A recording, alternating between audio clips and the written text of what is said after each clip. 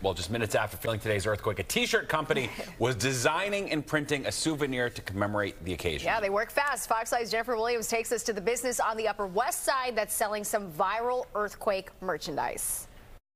Staying true to New York fashion and hustle, right after a 4.8 magnitude earthquake hit the area, one t-shirt shop on the Upper West Side was already cashing in. We've gone viral. Carrie Colley, the owner of Big Frog Custom T-shirts, had I Survived the NYC Earthquake T-shirts made in about 10 to 15 minutes after the quake shook the Big Apple, calling the response to the memorabilia insane. We've probably done a few hundred shirts at this point, and the line does not stop. I actually was having dinner with friends up the block, and we she had taken a photograph of this walking over, and I decided I, as a New Yorker, I needed one. One for my coworker outside, one for me, and then two for my other family members. We survived the New York City earthquake.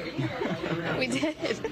It's easy to see why people had to get their hands on the meme-worthy tees, considering they're going for just $10 each. We didn't even post it. Someone else did. Uh, somebody else made us go viral. All of a sudden, two hours later, somebody showed me that we were going viral and it had 1.95 million views. The shirt went viral on social media, specifically TikTok. I was in the office when the earthquake happened, so I had to get it because why not? Memorabilia and a little gag gift to myself. And just how were the t-shirts made faster than a New York minute?